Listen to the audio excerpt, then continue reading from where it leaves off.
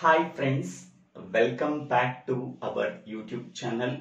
Today we have to discuss about associative memory in computer architecture course, computer organization course, computer organization and architecture course.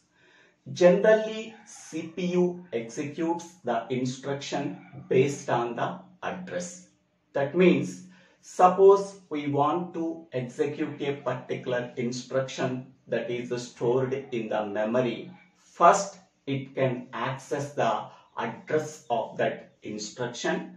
After that, it can execute that instruction. But whereas in the case of associative memory, CPU executes the instruction based on the content available in the instruction, not by an address. Hence, we can say that associative memory can also be called as content addressable memory that is denoted by CAM.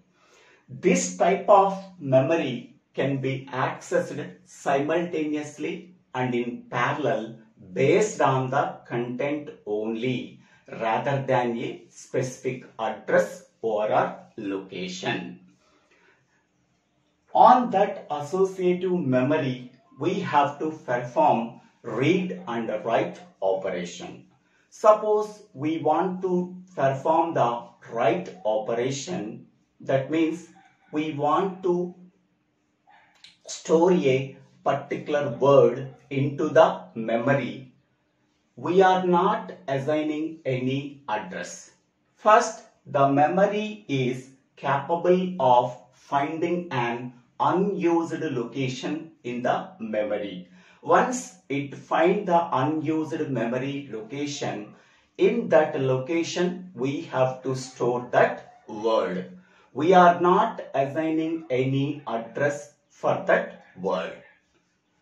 In this way, we have to perform the write operation. That means, suppose we want to perform a write operation to store a particular word, we are not assigning any address. First, the memory is capable of finding an unused location in the memory. Once it finds it, in that location, we are storing our word. We are writing that word into the memory. Next, how to perform the read operation. Suppose we want to read a particular information from a given word in the associative memory. The content of the memory word or a part of the memory word is specified.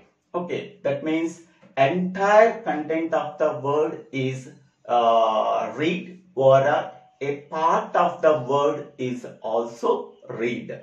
The memory locates all the words in the memory which match the specified content.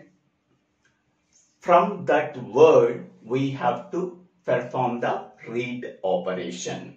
Okay, detailed we are discussing in this diagram. What is the advantage of associative memory? The advantage of associative memory, it takes very less time to find a word based on the content instead of address. Okay, it takes very less time to find a particular word into the memory based on the content only, not by an address. This is the advantage of associative memory. Next, this is the block diagram of associative memory or a hardware organization of associative memory. Here it contains two registers. First one is argument register that can be denoted by capital A and second one is key register that can be denoted by capital K. Argument register contains the content.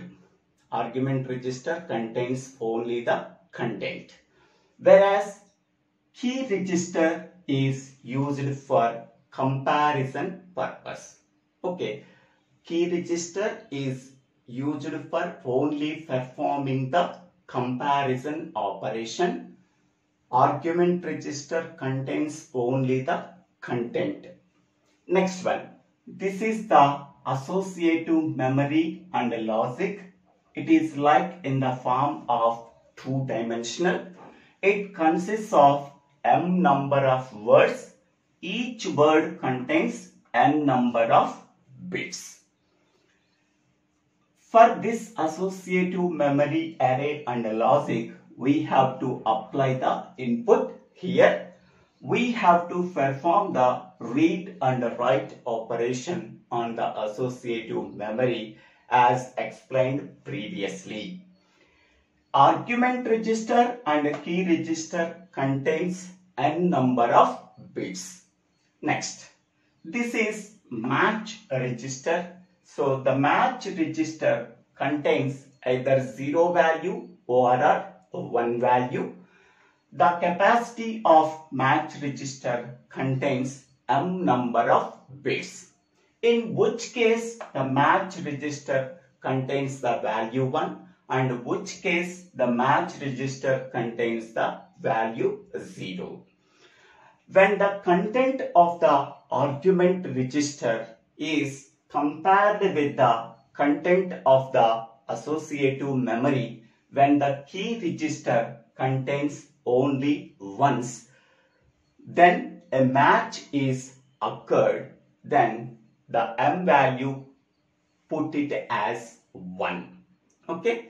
A match is occurred between the content of the argument register and the content of the associative memory when the key register value contains 1 then a match is occurred then m value can be put it as 1 if the key register contains the value 0 we do not perform the comparison between the content of the argument register and the content of the associative memory, the match is not performed. In that case, m value is equal to 0.